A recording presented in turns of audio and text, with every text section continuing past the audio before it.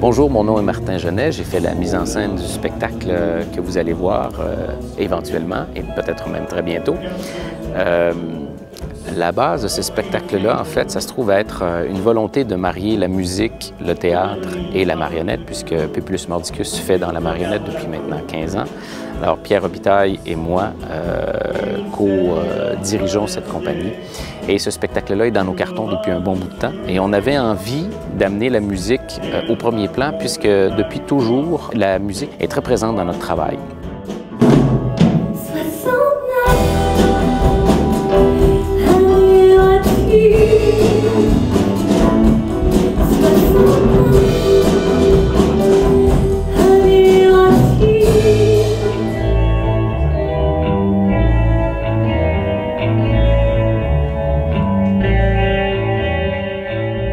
Donc, on avait envie tout simplement de s'inspirer de Gainsbourg. Donc, pendant des années, on est allé fouiller, on a lu beaucoup, on a essayé de trouver aussi quelle était la meilleure période.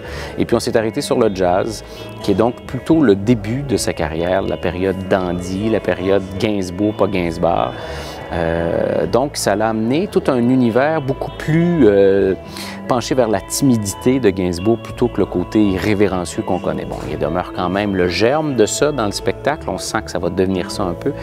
Ce qui fait que ça l'a euh, amené différents tableaux, 18 petits tableaux euh, à partir de différentes pièces de son répertoire du jazz qu'on a illustré. Donc, il y a un peu de tout euh, dans le spectacle euh, qui nous permettent de vous faire voyager à travers son univers à la fois pictural, parce qu'il voulait devenir un peintre, et à la fois son univers musical.